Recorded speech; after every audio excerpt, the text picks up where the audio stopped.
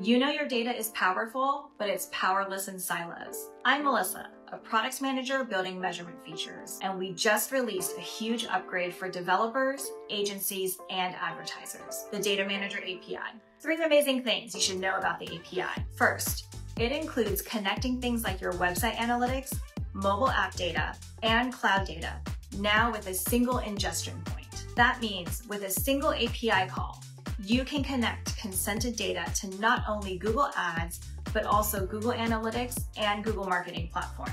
Second, we streamline the onboarding process and are developing tools to help you get started quicker, like code samples and contextual resources to leverage in your AI-enabled coding environments. In addition to these improvements, and maybe most importantly, we have new diagnostics and error reporting, enabling engineering teams to proactively troubleshoot issues and verify traffic health without navigating multiple dashboards. Find it here in Data Manager's Diagnostics UI and in the Status API. Lastly, Data Manager API enables you to increase your data strength by painting a better view of your customers across multiple touchpoints. While traditional tagging remains critical for website insights, they aren't enough for the modern consumer. With the Data Manager API, you can boost your tag conversions with additional signals from multiple data sources. That means richer audiences, more valuable bidding, and stronger AI-powered campaigns. In short, quality data equals better campaign performance.